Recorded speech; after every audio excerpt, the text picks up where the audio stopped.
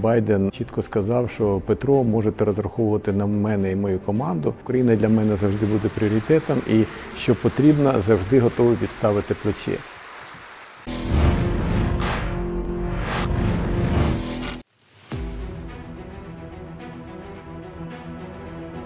Він називав його Петро. Пригадується багато цікавих історій, які свідчать про їхні особливі стосунки.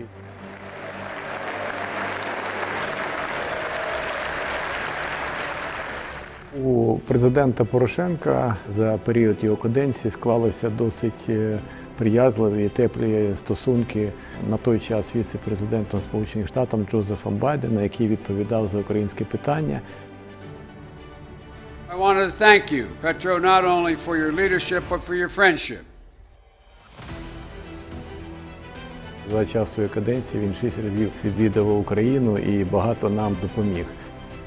Телефонні розмови відбувалися що два тижні. Пригадую, в 16-му році, коли телефонної розмови не було десь протягом місяця. І от настала час телефонної розмови, дзвонить Джозеф Байден і починає телефонну бесіду зі слів. Петро каже: я вже скучив за тобою, бо давно не говорили. В цих словах е, яскрава характеристика їхніх особистих стосунків. Mr. President, I may have to call you once every couple weeks just to hear your voice. It's been going on a long time.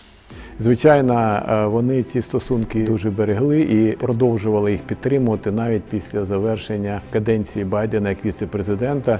Відбулася розмова, і тоді Байден чітко сказав, що Петро можете розраховувати на мене і мою команду. Україна для мене завжди буде пріоритетом, і що потрібно, завжди готовий підставити плече.